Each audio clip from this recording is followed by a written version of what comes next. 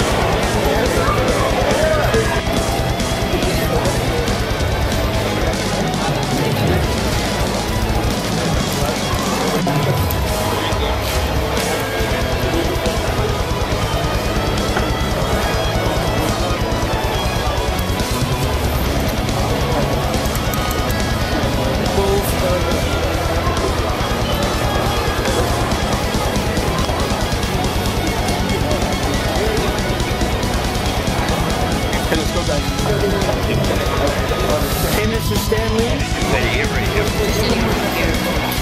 Hey, Mr. Stan Lee. Can I get you to say something for our website?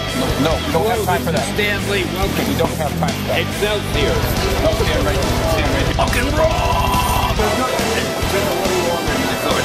Stan, can you say Hulk No, the I- I Monster and so are you? I'm really in a rush.